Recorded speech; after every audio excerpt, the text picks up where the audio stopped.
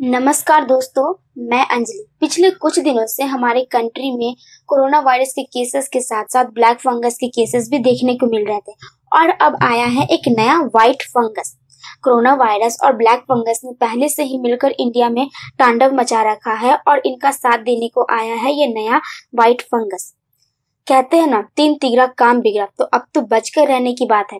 क्यों? क्योंकि पता नहीं ये तीनों मिलकर क्या तबाही मचाने वाले हैं हमारे देश में। तो आज का हमारा डिस्कशन का टॉपिक यही होने वाला है। हम बात करने वाले हैं कि ब्लैक फंगस क्या है व्हाइट फंगस क्या है फंगल इन्फेक्शन क्या होते हैं और इससे रिलेटेड बहुत सारी बातें। तो चलिए स्टार्ट करते हैं। बात कर रहे हैं फंगस के बारे में। तो पहले देखते हैं कि ये फंगल इन्फेक्शन क्या होती है। फंगल इन्फेक्शन का मतलब disease cause by a fungus fungus से होने वाली बीमारियों को फंगल इन्फेक्शन कहा जाता है। क्या होता है कि जब कोई भी फंगस हमारी बॉडी को इन्फेक्ट करती है तो हमारे बॉडी में कुछ चेंजेस आती है, जैसे ईचिंग रेड रैसेस देखने को मिल सकते हैं। ये सब जो है कॉमन सिम्टम्स हैं फंगल इन्फेक्शन के। ये फंगस जो है वो हमारी बॉडी में कैसे आते हैं? देखिए फंगस के जो स्पोर्स होते हैं, वो क्या होते हैं कि हमारे बॉडी के, हमारे इनहेलेशन के थ्रू हमारे बॉडी में जाते हैं। मतलब जब हम सांस लेते हैं तो हमारी सांस के थ्रू वो हमारे बॉडी के अंदर जाते हैं और हमारी बॉडी को इन्फेक्ट करते हैं। नहीं तो कहीं भी यदि हमारे बॉडी पार्ट्स पर कहीं भी कट हो गया है और उस कट मार्क पर किसी फंगस ने इन्फेक्ट कर दिया, यानी उस कट मार्क के थ्रू भी वे फंगस जो है, वे हमारे बॉडी में प्रवेश करते हैं और हमारी बॉडी को इन्फेक्ट करते हैं।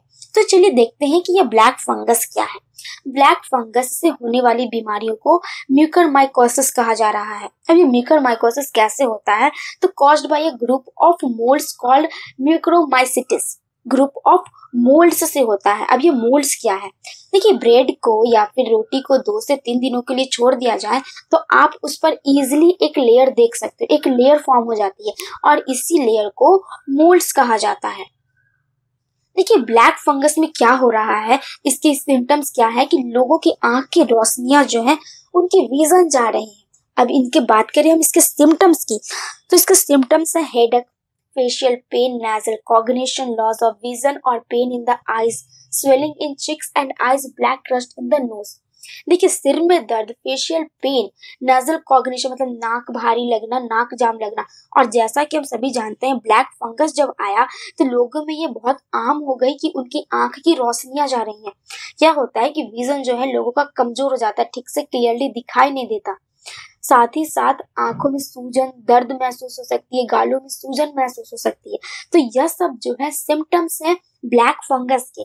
बात करें इसकी फैटिलिटी रेट की तो इसकी फैटिलिटी रेट जो है वो फिफ्टी परसेंट है। मतलब यदि किसी भी पर्सन को इस ब्लैक फंगस ने इन्फेक्ट किया है तो उसके 50 परसेंट चांसेस है कि उसकी डेथ हो सकती है। अब इस ब्लैक फंगस को ब्लैक फंगस क्यों कहा जा रहा है? देखिए, क्या होता है कि जब ये फंगस हमारी बॉडी को इन्फेक्ट करती है तो हमारी ब्लड वेसल्स और लाइफ टिश्यूज जो है, वो मर जाते हैं, जिसकी वजह से उनके कलर में चेंजेस आती हैं, वे ब्लैक में कन्वर्ट हो जाते हैं। इसलिए इस ब्लैक इस फंगस को ब्लैक फंगस नाम दिया गया क्या हो रहा है कि ये फंगस जो है, बहुत ही तेज़ी से फैल रहा है।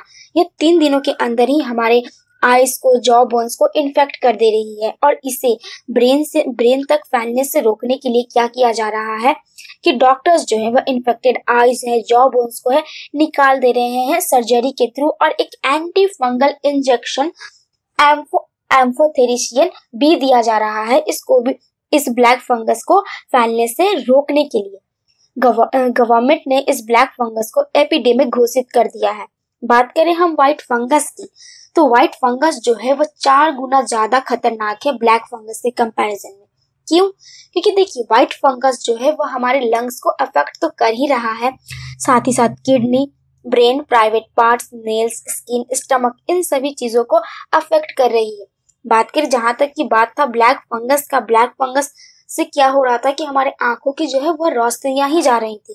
बट ये व्हाइट फंगस जो है तो वो तो लगभग हमारे पूरे बॉडी पार्ट्स को ही इन्फेक्ट कर दे रही है। जिसकी वजह से यह ब्लैक फंगस से बहुत ही ज़्यादा खतरनाक है। इसके सिम्टम्स देखें तो इसके सिम्टम्स जो है वह कोविड नाइन्टीन के सिम्टम्स जैसे ही हैं। जैसे cough fever diarrhoea dark spots on lungs reduce oxygen level जैसे कोविड के सिम्टम्स होते हैं, वैसा ही सिम्टम्स व्हाइट फंगस का भी है। फ़र्क इतना है कि ये जो व्हाइट फंगस है, वो लोगों को कंफ्यूज कर दे रहा है। अब कंफ्यूज कैसे कर रहा है? लोग में कोविड के सिम्टम्स दिख रहे हैं बट उनकी कोविड की रिपोर्ट जो है वो निगेटिव आ रही है। अब डॉक्टर्स ने देखा कि ऐसा क्यों भाई, ऐसा क्यों हो रहा है?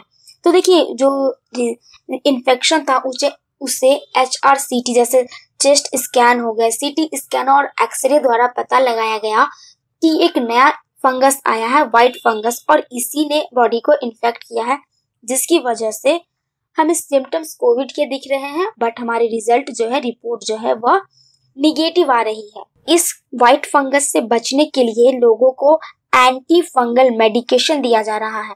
सवाल यह उठता है कि क्या यह कोरोना वायरस ही है जो अपने साथ इन फंगल इन्फेक्शन को लेकर आया है? जी नहीं, ऐसा नहीं है। ये फंगस जो है, वो पहले से ही हमारे इन्वायरमेंट में मौजूद रहते हैं।